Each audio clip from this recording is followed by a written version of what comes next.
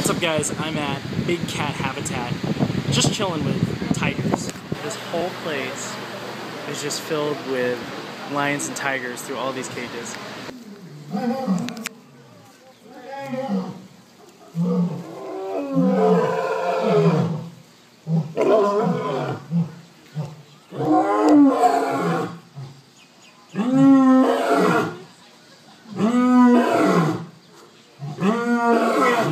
That's crazy.